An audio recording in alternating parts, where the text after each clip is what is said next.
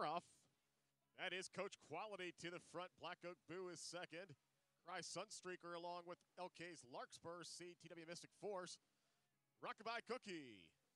They head down the backstretch. Coach Quality, the surprise leader by three. Cry Sunstreaker is second. Black Oak Boo is third. Then Nothing Like a Dame. Coach Quality still on the front end as an upset is brewing here.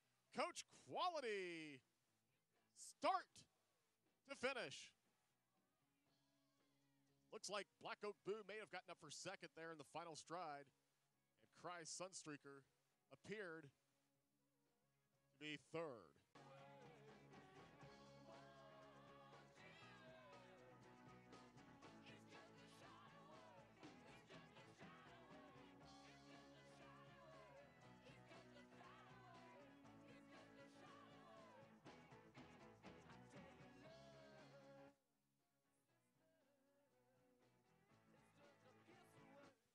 Results are official.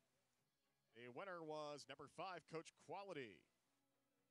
Finishing second, Cry Sunstreaker did end up holding.